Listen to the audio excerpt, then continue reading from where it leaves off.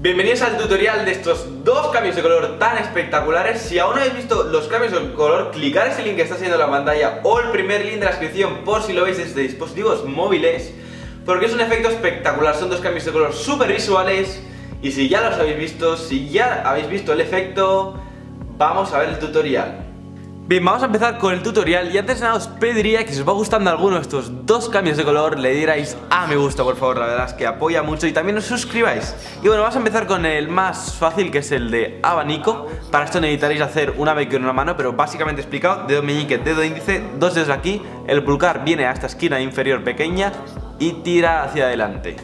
Eh, apartando por supuesto el dedo índice, eso es lo que necesitáis saber. Así que una vez hecho esto, vais a saber que la carta en la que va a cambiar es la de abajo. Entonces imaginémonos que hacemos un control de una carta, imaginemos que eligen esta aquí, el 9 diamantes, y la controlamos a la parte de abajo por nuestro método preferido. Entonces ahora mismo haremos un corte en el que pasamos eh, esta, este paquete de arriba a la siguiente posición. Dedo medio y dedo pulgar cogen y ahora reposiciona de la siguiente forma. Dedo índice a este eje, dedo meñique al otro eje y estos dos dedos ahí abajo. Entonces es como si estuviéramos en straddle grip, que es esta posición de aquí, pero con la baraja al revés. Entonces estos dos dedos y el pulgar en los ejes cortos, dedo índice meñique en los ejes largos.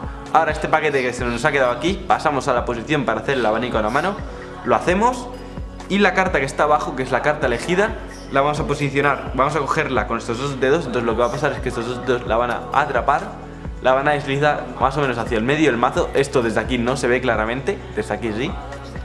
Y lo que van a hacer es hacer un poco de fuerza, como para que la carta salte rápidamente. No demasiado porque si no se escucha ese ruido, pero suficiente para que la carta, cuando apartes, la carta suba y no se escuche nada. Así que es básicamente, tenemos una carta, la controlamos abajo por nuestro método preferido, imaginemos que eligen esta, hacemos un double undercut, por ejemplo, uy, perdón, double undercut, la carta está abajo, hacemos corte, reposicionamos, dedo pulgar aquí, hacemos un abanico, la colocamos y hacemos el cambio. Otra forma de hacer para no tener que venir hasta la esquina y después al centro, cogiendo la carta, es con estos dos dedos, fijaos voy a, voy a hacer que sobresalga un poco la carta, es empujarla con nuestros dos, con estos dedos aquí. Con estos dos dedos aquí, con los dos dedos del medio, empujamos la carta hacia el medio y como no está hacia afuera y nada no se ve. La colocamos donde queremos y hacemos el cambio. El cambio, como habéis visto, puede ser hecho de varias formas. Una es rápido y otra es como cubriendo y haciendo esta forma. Entonces, eso básicamente pinchamos con estos dos dedos, hacemos un pelín de fuerza para que la carta suba sola y tenemos toda la cobertura del abanico, o sea que es perfecto, no hay casi ningún ángulo excepto directamente de arriba que incluso se puede cubrir si acercamos un poco más el abanico y ya sí que no se ve desde ninguna posición. Vamos a ver el segundo cambio de color que también es muy espectacular y como os he dicho si os está gustando presionar este botón. Bueno, vamos a pasar al segundo cambio de color, este es mi preferido, me gusta más que el otro pero claro, es un poco más difícil. Así que vamos a sujetar la baraja en Mechanic Grip de índice en el eje corto delantero dedo pulgar y de estos tres dedos aquí. La baraja no tiene que estar levantada, sino eh, descansando en la palma y las yemas de los dedos deben sujetar bien la baraja. Ahora bien, vamos a venir con el dedo índice aquí a la carta y vamos a doblarla un poco para conseguir que se doble abajo y poner el dedo meñique. Esto lo podemos lograr así o simplemente con el pulgar. Dejamos caer una carta, ponemos el dedo meñique y dejamos el resto. Vale, ya sabéis, arrastrando con el dedo índice para que se cree esta especie de burbuja. Ponemos el dedo meñique o con el dedo pulgar. Una vez tenemos el break que se llama sobre la carta elegida, que la carta que va a cambiar es la que está abajo. Si estuviéramos aquí, esta, cambia, esta carta cambiaría en esta. Si estamos aquí, esta carta va a cambiar en el asset regules. Bien, conseguimos el break. Ahora sujetamos con estos dos dedos en la parte delantera, el pulgar la parte trasera y cerramos para que no haya ningún hueco por el que vean la carta que voy a dejar ahora abierto para que vosotros lo podáis ver y aprender. Entonces el dedo índice pasa de esta posición aquí, ¿vale? Entonces estamos aquí con la carta y vamos a levantar todas un poco, menos la carta elegida, que, que el dedo índice va a estirar hasta esta posición. De tal forma que si estiramos hasta esta posición y arrastramos hacia adelante, la carta se queda en 90 grados respecto a la baraja.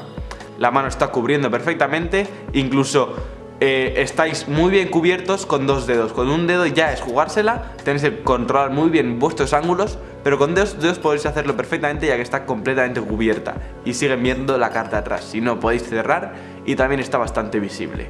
Así, ¿cómo hacer que el cambio resulte tan rápido? Bien, como sabéis, estamos en esta posición, eh, conseguimos el dominique, sujetamos, la carta se gira y se arrastra a esta posición. Es importante girarla porque si no se os quedará en esta posición y cambiará aquí, ¿vale? Entonces la tenemos en esta posición y es muy, muy parecido al anterior.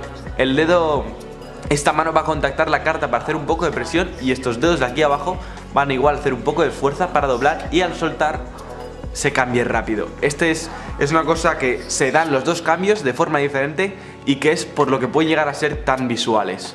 Así que ya sabéis, estamos aquí, conseguimos un break por las dos formas. Eh, eh, damos la vuelta, colocamos aquí y cambiamos. Simplemente podemos hacer algún gesto como este, como abrir los dedos, como quitar, apartar la mano. Entonces estamos haciendo fuerza y, y tiramos hacia adelante. Bien, aquí puede pasar una cosa y es que eh, una carta, por ejemplo, esté boca arriba y la otra esté boca abajo. Entonces, si hacemos lo mismo y giramos la carta, al hacer el cambio queda boca abajo. ¿Cómo solucionar esto? Es muy sencillo. Si estamos en esta posición, eh, lo único que tenéis que hacer es en vez de conseguir el break, es simplemente empujar la carta. Eh, ya sabéis, el paquete lo dejamos ahí descansando en la mano. Y ya estamos en la misma posición, podemos hacer el cambio de color, ¿vale? Entonces simplemente es... Em, arrastramos la carta y se nos queda posición. En vez de girarla, tenemos que arrastrarla cuando están en diferente posición. Así que esto es el tutorial. Vamos a pasar la despedida. Espero que os haya quedado bien claro. Podéis repetirlo todas las veces que queráis y darle a me gusta, muy importante. Venga, nos vemos en la despedida. Bueno, ya hemos llegado al final de este tutorial, espero que os haya encantado, ya sabéis, me gusta, suscribiros, compartirlo y favoritos, todo en uno porque es lo que a mí me apoya, lo que a mí me hace seguir adelante con estos vídeos. Y ya sabéis, si queréis hacer aún más, seguirme y enteraros, enteraros de todo, podéis seguirme en mi Facebook oficial, donde pongo las cosas más importantes, en mi Twitter, donde pongo casi todo lo que se me ocurre, todo lo que vaya haciendo, y en mi Instagram para ver las cosas que van pasando en mi vida fuera del canal. Así que espero que hayáis disfrutado, ya sabéis, espero vuestros me gustas y vuestras suscripciones, y hasta la próxima. Adiós.